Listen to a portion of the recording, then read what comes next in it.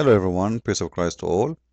Uh, this is uh, an advertising movie made by Muslims to uh, for the sake of the propaganda of Islam. Uh, simply, uh, the movie, uh, short short movie, it's like a few minutes, eight minutes. Uh, two people in the elevator. One of them is an American, and the other one is a Muslim woman. Now, the Muslim woman, she is not allowed to show her face, supposedly. Yeah, right. And when the guy he got injured, this Muslim woman, she took off her scarf and right away the Quran started playing in the background and she put her scarf around her his injury. He's bleeding. And that is supposedly the mercy of Islam. I'm really touched. Like, you know what? I'm honestly, I'm really touched. This is amazing. In the same time, uh, we need to ask ourselves, is that a movie is real? Like, is that telling us a real story or this is a fabrication story? Do Muslims really do that? Or Muslims do the opposite? Isn't it Muslims who cause people to bleed? Like, you know, uh, just last week, how many people get killed? In Islamic countries. How many Christians get killed in Nigeria? I didn't see any Muslim woman taking her scarf to put her scarf around someone who is bleeding from those Christians getting killed, or even Muslims. What a fabrication! What a way of deception!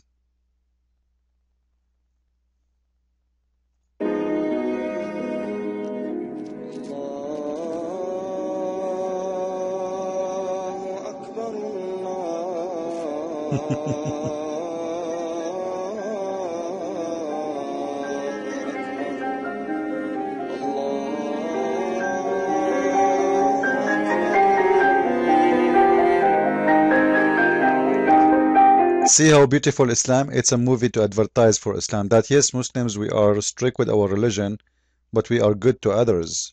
You know how you can be good to others if you cannot be good even to yourself? You know, when when a Muslim try to promote his religion to us and he's trying to sell it out by making those movies, and by the way, I can tell the one, the both those people they are Muslims. Because a religious Muslim anyway, she will not show her face and her uh, her hair for the sake of a movie. This is haram. So they hire people who they have nothing to do with Islam to make this movie. It's paid. It's paid advertising, I, I bet you, by Saudi Arabia.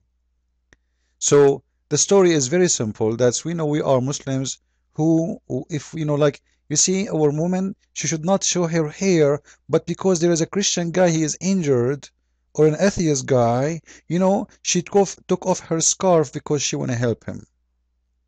Let us go and see if that is exist in Islam or not. Let us take a look. This is uh, the book of Sunan of uh, uh, Abu Dawud. And just to show you how you can find those hadith, you know, for me, I, I memorized them, uh, uh, like, uh, you know, good fortune of them, let us say. for sure, not in English, in Arabic, but I know like what to look for. So you search for killed her in Sunan Abu Dawud and you will find the hadith. It's hadith number 38, uh, book number 38, hadith number 4348. The story in here saying, narrated Abdullah ibn Abbas. A blind man had a slave mother. She is what? She is a slave mother.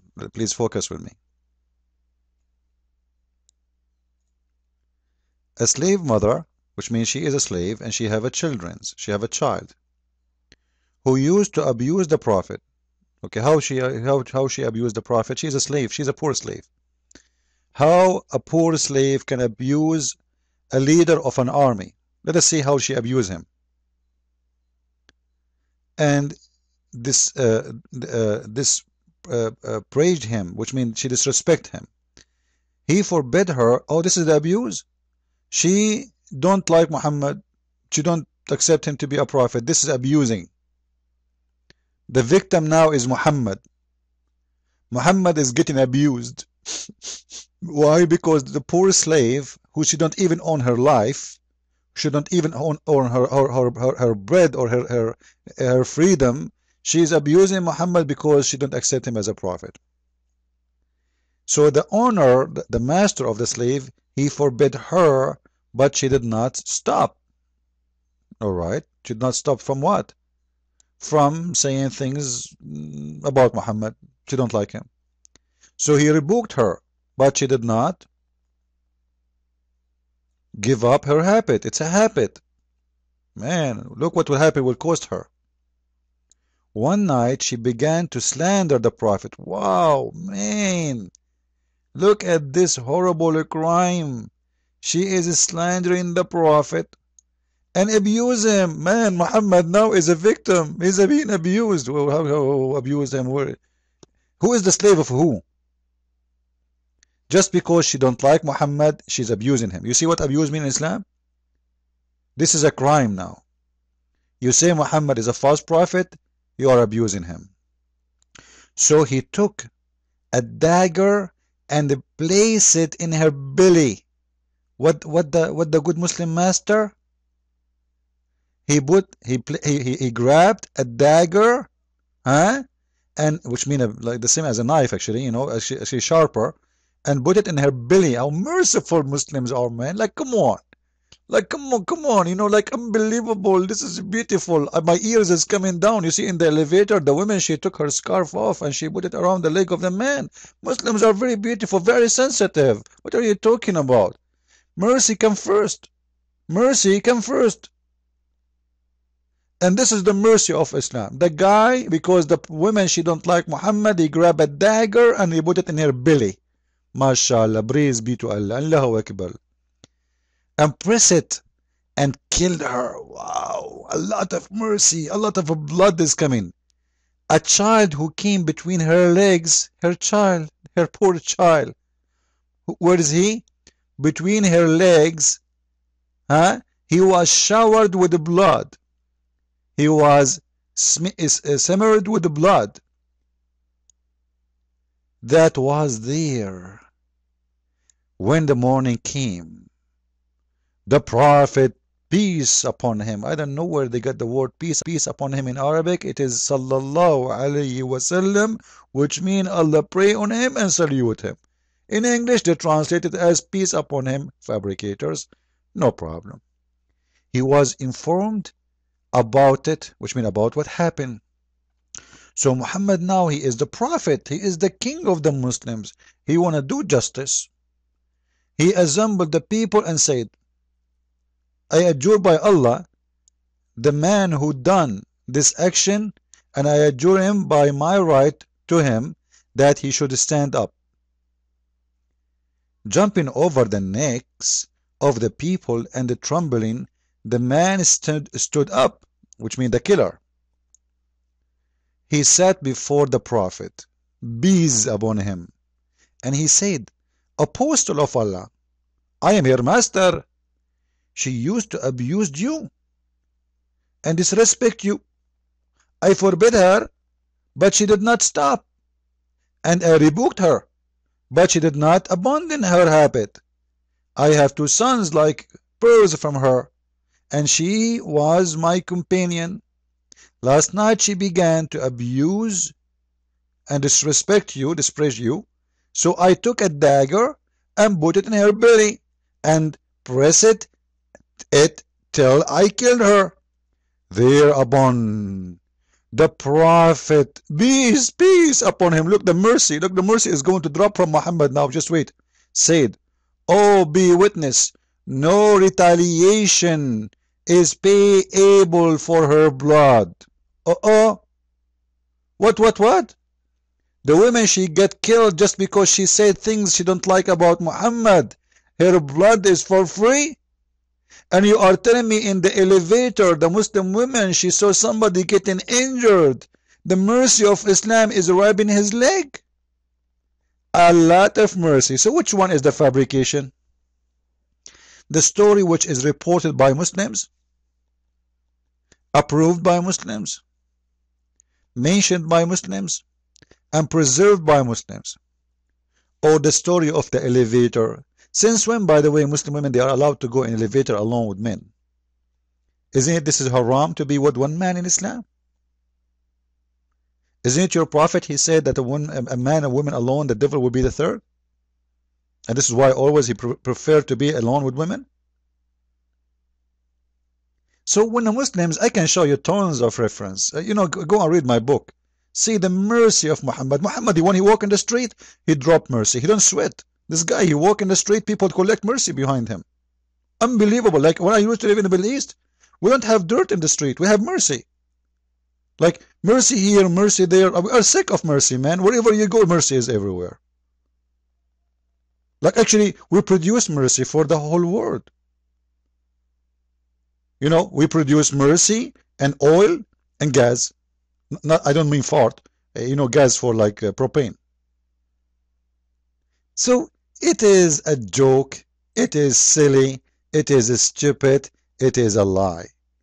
Shame on you, Muslim liars. Please spread the video and don't forget to tell your friends about my book, which is in Amazon.com if you want to learn the truth about Islam, not a fabrication of a movie to promote the stupid Islam over reality, saying to you that Muslims are people of mercy, go and watch the news about Syria. Go and watch the news about Bahrain. Go and watch and the news about uh, Nigeria. Go and watch the news all over the world and see the mercy of Muslims. Very merciful people.